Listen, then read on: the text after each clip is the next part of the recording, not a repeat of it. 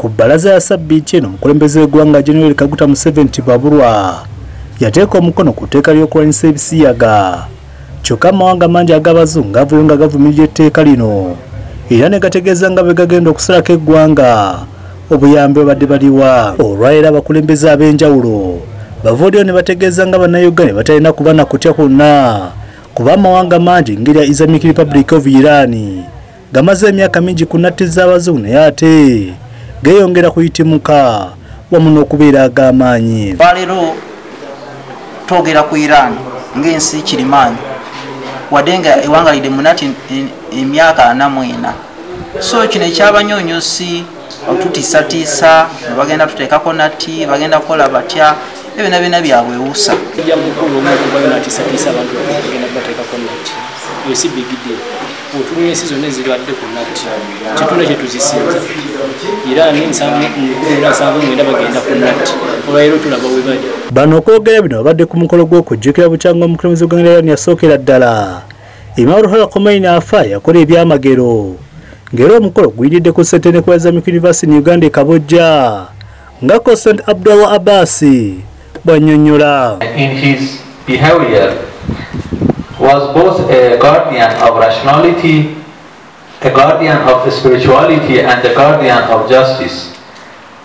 Manifestation of Imam Khomeini's rationality include choosing democracy for the country's political system derived from his inflexibility in the face of the enemy and eh, distrust of the enemy by uh, injecting the spirit of uh, self-confidence and self-reliance in the nation with the slogan we can. ono nga yeegatiddwako profesa adamu sebyala bagamba nti ensomesa imamu khomeini yali yanjawulo nnyo nga tasosola mu nzikiriza yonna.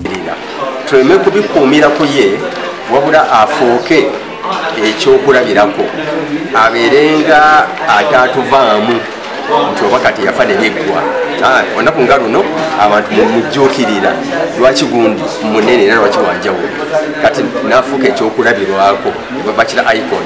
Nafuuka ekyokulabirwako bakomeini abalala ne bajja. Definitely we are talking about uh, Imam rahmatullahi. Uh, the great leader who has opened the uh, for, to re revolution not only in Iran as my uh, brothers mentioned here, but also for some other countries. olina okumanya nti bakutisse obuvunaanyizibwa obutali bubwo wabula obw'abantu era oba tebwekolerera oba okolerera abantu olina okumekinga sure kale olina okukola ennyo okulaba nti oleeta obwenkanya bo abamu ku beetayo ku mukolo guno babe boogedde ku imamu khomeini He was struggling for justice.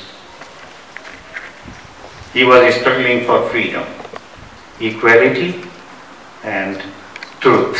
I was not there at the time of Khomeini, but what we have studied and what we have seen and the effects that we are still seeing in our, in our in day-to-day's life, that gives us a clear message that today also all those goals, they are not just theo theory, theory, they are not just ideas, but they can be put into practice. haruna luwangula delta tv amasokolomu